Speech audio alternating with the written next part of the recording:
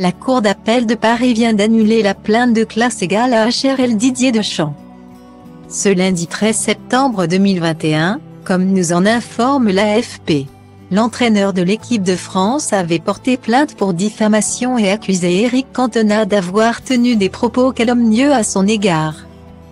En effet, à la veille de 2016 euros, celui qui partage sa vie avec l'actrice Rachida Brakni avait expliqué au journal britannique The Guardian que Didier Deschamps avait choisi de ne pas sélectionner Karim Benzema et Atem Ben Arfa en raison de leurs origines.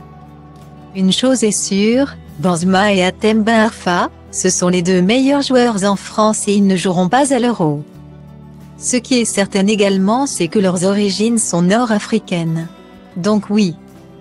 Le débat est ouvert, avait déclaré l'ancien joueur de Manchester United, devenu comédien. Avant d'ajouter, Deschamps a un nom qui sonne bien français. C'est peut-être le seul en France à avoir un nom aussi français.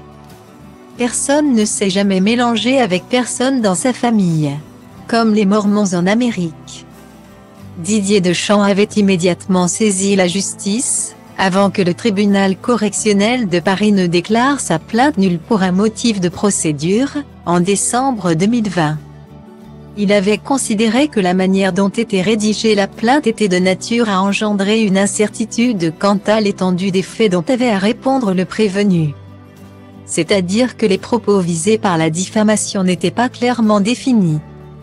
Didier Deschamps avait alors formé un recours et la Cour d'appel a confirmé le 9 septembre la décision de première instance. De son côté, Eric Cantona se réjouit de cette décision.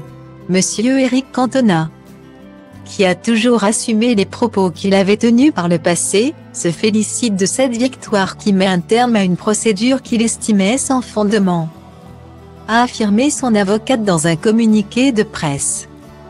Pour rappel, Karim Benzema avait été exclu des Bleus à cause de sa mise en examen dans l'affaire de la sextape visant son partenaire Mathieu Valbuna.